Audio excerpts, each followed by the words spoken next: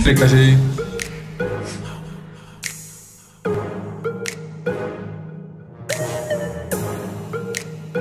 Hurá! Jsme zase zpět, štrikary z News. Kaki před cca podle mých výpočtů deseti dny běžel na mezistátku v Polsku.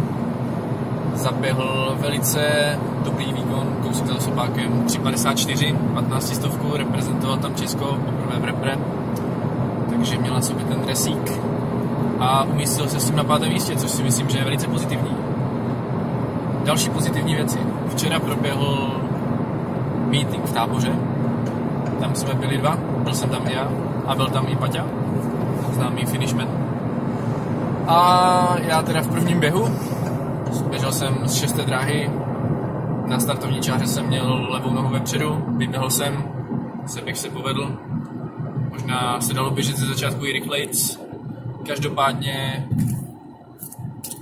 1.49.6 hodnotím jako kladný výkon po tom, co bylo a po tom, co je. Ještě není úplně natrénováno. Každopádně každým dnem lepší a lepší. Trošku chyběla šťáva v konci. Hmm, za to Paťa. Ten, ten, jak jsem říkal minule, prostě začněte se bát, protože z něho se stal právě ten dravec v konci. On tu koncovku má, dokonce si zabil osobák 1.55.16. Krásný výkon. Zaběhl si tak někde do skupinky a potom prostě vyrazil vpřed.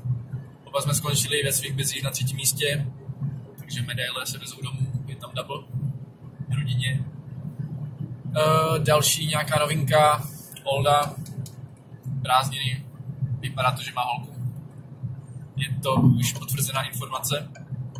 On sám to potvrdil, ale nedodal důkaz, takže v příštím videu si zase řekneme, jestli je to pravda nebo ne. Nezapomeňte sledovat a brzo vypustíme merch. Těšte se, budou kravaty.